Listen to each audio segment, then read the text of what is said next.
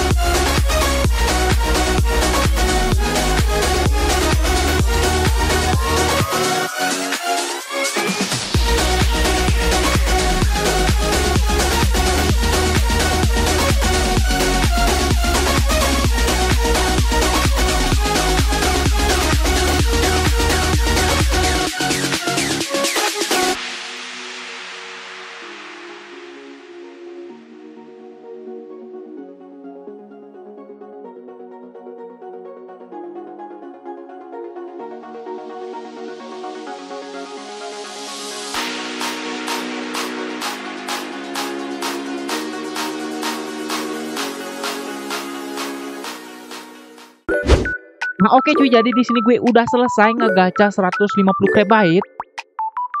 Dan di sini kita mendapatkan 3 small crab, 66 medium crab, 77 large crab dan juga 4 juga crab cuy. Nah, untuk harganya di sini kita cek harganya untuk crab small itu di harga berapa cuy? Di harga ya rata-rata di harga 70.000 Bitcoin cuy. Nah untuk crab uge itu di harga 165 sampai 200 ribu Bitcoin. Nah untuk large